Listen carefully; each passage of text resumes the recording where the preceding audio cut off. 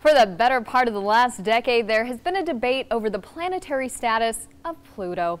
Now, Pluto was reduced from a planet to a dwarf planet in 2006. Now, the reason it didn't meet all three qualifications set forth by the International Astronomical Union.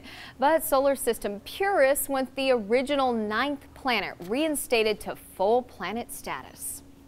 Out there are also Eris and Sedna and Quaoar and Makemake and uh, a number of other round objects out floating in the outer edge of the solar system. And Eris is even bigger than Pluto. So it's kind of hard to call Pluto a planet because then you got to call all these other things planets too.